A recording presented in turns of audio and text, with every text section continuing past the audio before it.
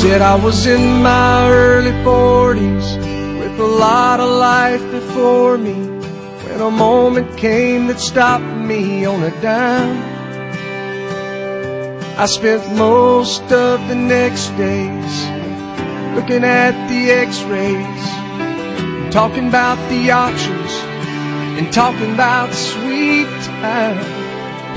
I asked him when it sank in this might really be the real end. How's it hit you when you get that kind of news? Man, what'd you do? And he said, I went skydiving, I went Rocky Mountain climbing, I went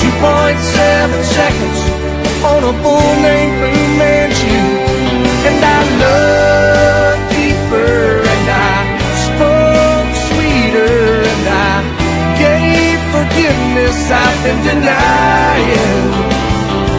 And he said, someday I hope you get the chance to live like you were dying.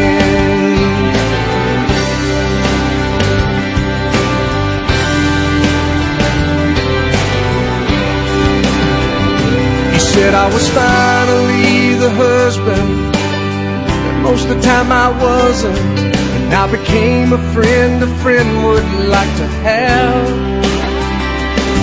And all of a sudden going fishing wasn't such an imposition. And I went three times that year, I lost my dad. Well, I, I finally read the good book and I took a good long hard look at what I'd do if I could do it all again.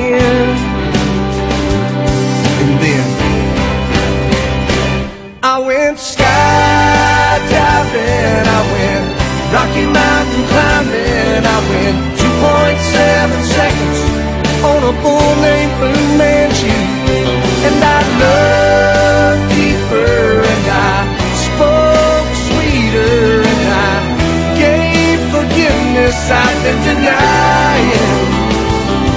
And he said, someday I hope you get the chance to live like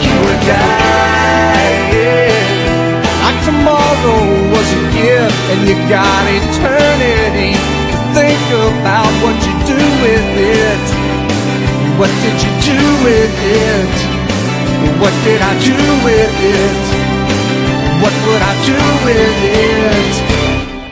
Skydiving,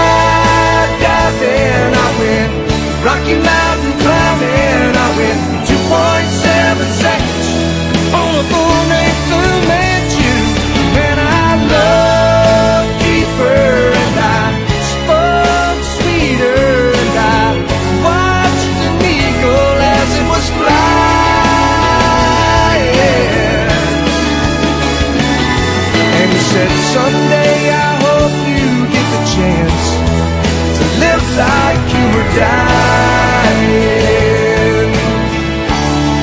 To live like you were dying.